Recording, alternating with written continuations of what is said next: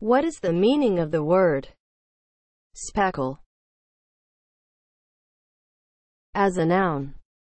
Powder, containing gypsum plaster and glue, that when mixed with water forms a plastic paste used to fill cracks and holes in plaster. Spackle is spelled S P A C K L E. Spackle